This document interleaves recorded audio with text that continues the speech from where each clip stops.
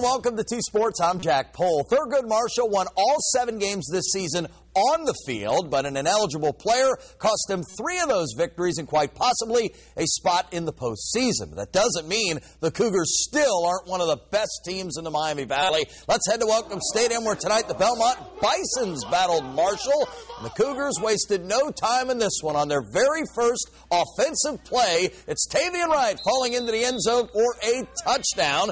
Marshall head coach Earl White looking for a play on special teams, and he'd get one.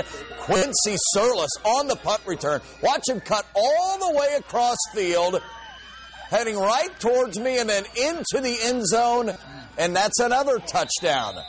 Cougars cheerleaders would be hoarse by the end of the night. They had so much to cheer about.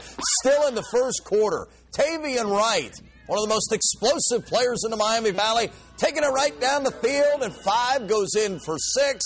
Thurgood Marshall wins big on homecoming night, 66 to nothing.